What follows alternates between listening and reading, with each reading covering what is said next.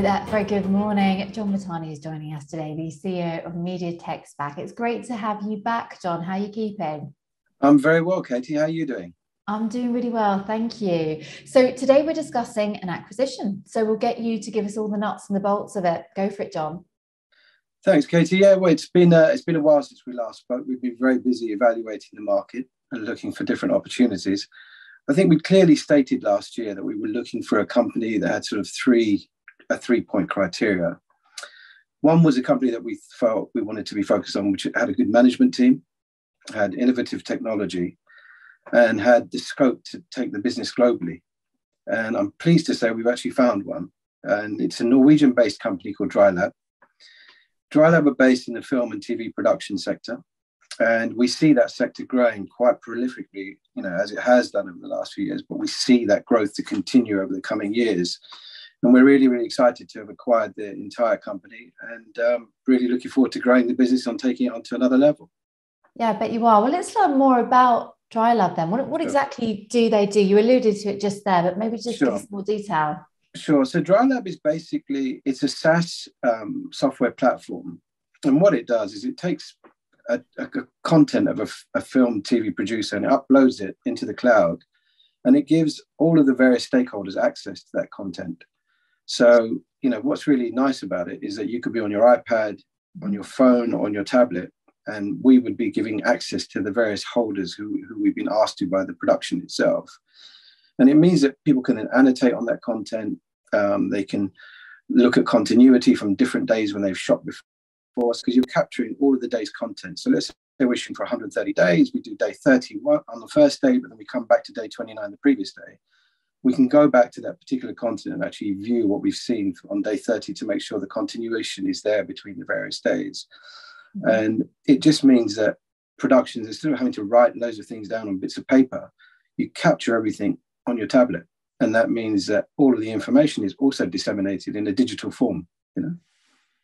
Very clever. I like yeah. it.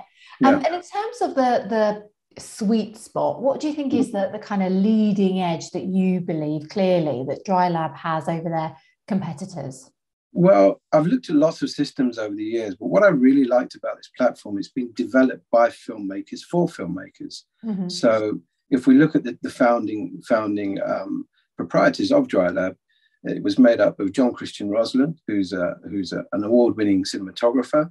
It was made up from with Stein Kaiva, who basically is an award-winning film producer, and Odin Valle, who's a technologist. He's probably one of the sharpest guys I've ever come across.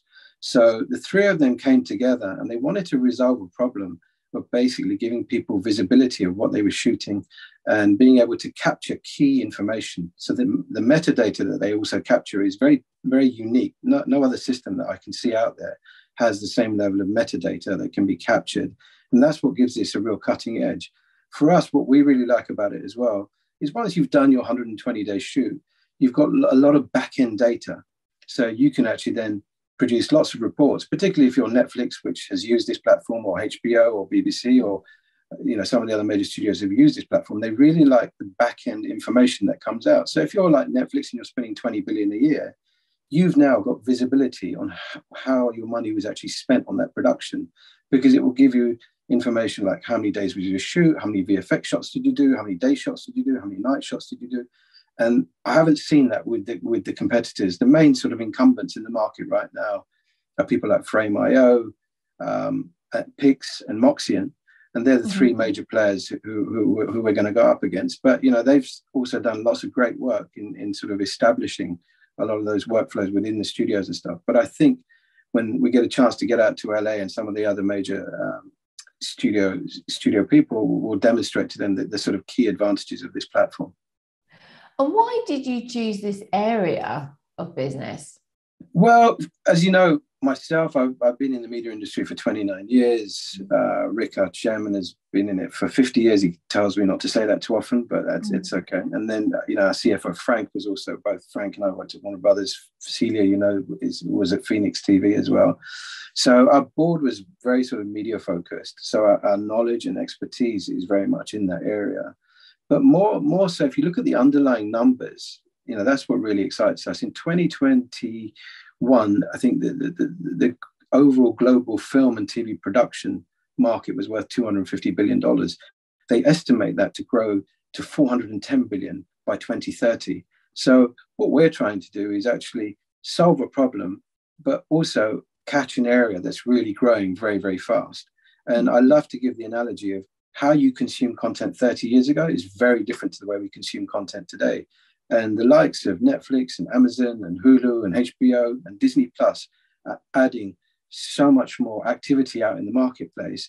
What DryLab does is basically provides filmmakers with so much more efficiency in terms of time and cost. So it means that if you can basically look at your content the same night you then can say to the set the next day, you know what, dismantle that set. We want to move on to the to the next next next makeup. And so I think it's it's being able to provide a, more efficiency to a very very fast growing market. Mm, and save a lot of time and money as well yeah. in the process, yes. I would imagine. Yes. Um, yeah. Any big plans after this acquisition then?